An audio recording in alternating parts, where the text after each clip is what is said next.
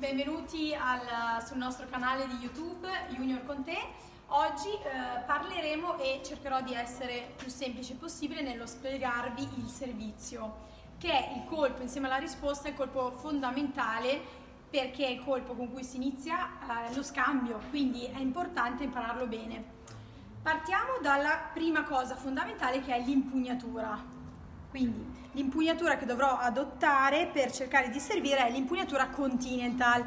Attenzione a non girarla troppo verso il vostro dritto perché diventerebbe una, un'apertura troppo aperta, ma cercate di tenerla il più chiuso possibile, ok? Portatela verso il rovescio.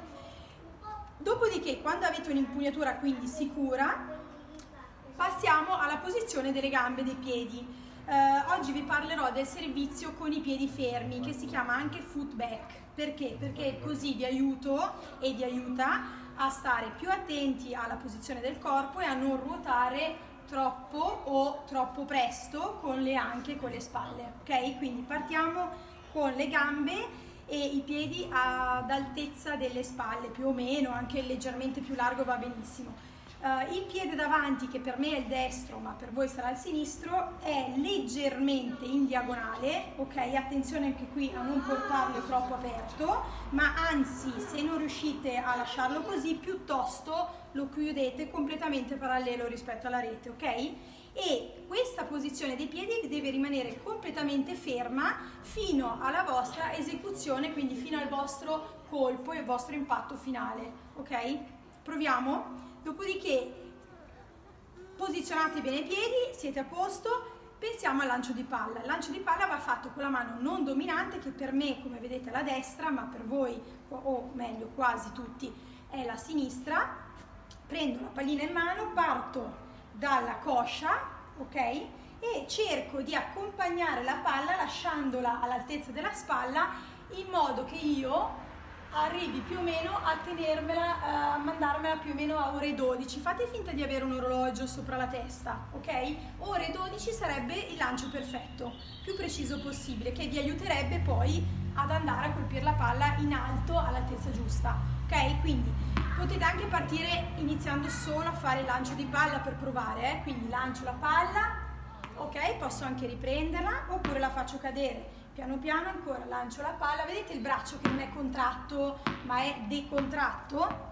Ok, il braccio che tiene la racchetta cosa fa nel frattempo? Mentre io inizio il lancio di palla, il braccio inizia a scivolare indietro, sempre decontratto, deve essere più morbido possibile, e a salire nella famosa e classica posizione a trofeo. Ok, attenzione al gomito che deve rimanere bello alto, a non arrivare in questo modo, gomito alto, la racchetta dietro pende, pende bene dietro la testa per poi arrivare al momento, il momento più importante. Ok, il momento più importante che è l'impatto alto. Questo è l'obiettivo del nostro servizio, andare a colpire la palla più in alto possibile. Ok, proviamo? Allora, parto, braccia belle rilassate, decontratte, inizio, lancio la palla, vado dietro e vado a colpire. Io non lancio troppo alto perché ho un muro sopra, ok? Voi dovreste cercare di avere un muro davanti magari e avere il cielo che così vi facilita anche il lancio di palla. Ok, eh, non so se avete notato, la posizione dei piedi è rimasta la stessa. Nel momento in cui vado a impattare, altra cosa molto importante è cercare di spingere più in alto possibile con le gambe, con i piedi e ricadere con la stessa gamba davanti in campo. Ok? Quindi carico bene, da qui vado a colpire e ricado in questo modo. Bene?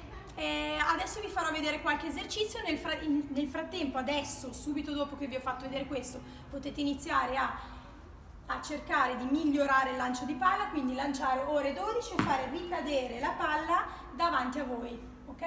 In questo modo. Deve sempre cadere davanti, attenzione a non mandarla indietro. Ecco, per esempio così. Va bene? Grazie.